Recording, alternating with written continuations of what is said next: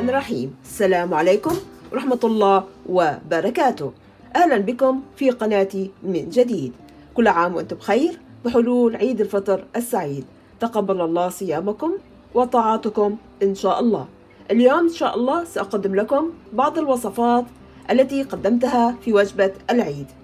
أقدم لكم جميلة الخضار آه، كلاج بالسبانخ والجبنة الموزاريلا واللحمة المبخرة. أتمنى أن تنال إعجابكم.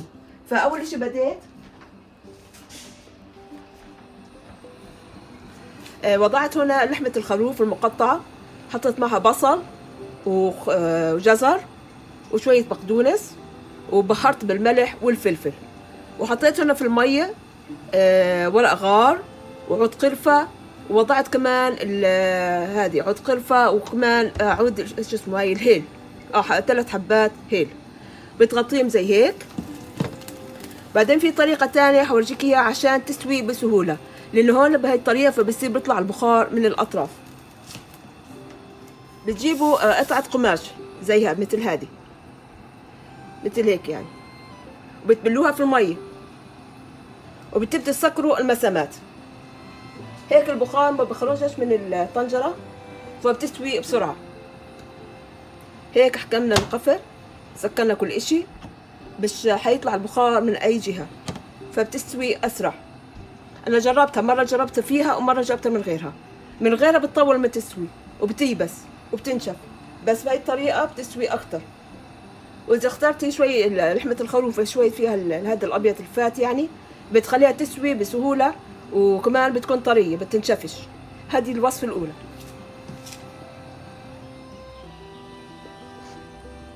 هلأ بعد ما حطينا اللحمة تستوي حسوي جميلة الخضار.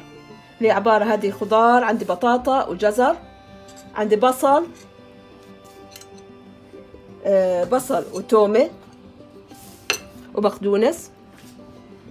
عندي أما بالنسبة للعطرية البهارات يعني ملح وفلفل تحميرة كمون خرقوم سكينجبير أعشاب منكهة. أنتوا بتحطوا البهارات اللي أنتوا بتحبوها. فأول شي طبعا حطيت الطنجرة على الزيت. بتحطوا زيت الزيتون أو أي نوع. أنا بفضل زيت الزيتون لأنه من الزيوت يعني صحية أكثر من المازولا. المازولا حاولوا قللوا من استعمالاته كثير يعني ثبتوا إنه بعرف صح ولا غلط إنه غير صحي يعني تماما.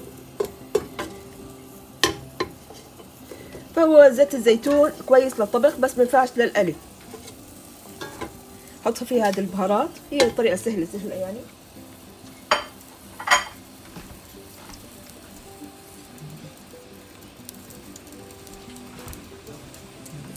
البهارات اللي قلت عليها. أنت بتختاروا البهارات اللي بتحبوها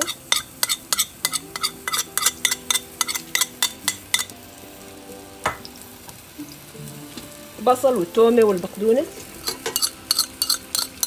حط عليها ربع ذره بجيبها كمان.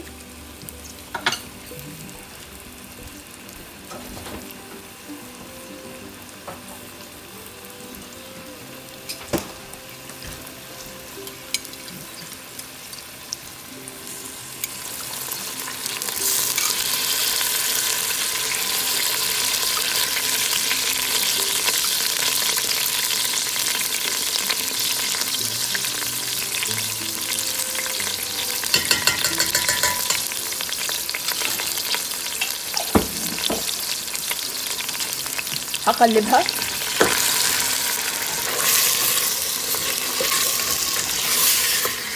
عشان يعني المكريرة على المية بتكونش مسلوقة.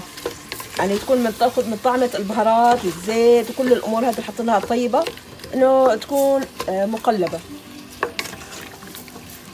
بعدين بدير عليها المية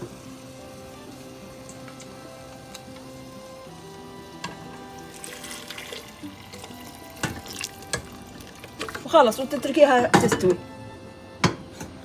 أنا ما تاخذش وقت كتير وتستوي لحالها.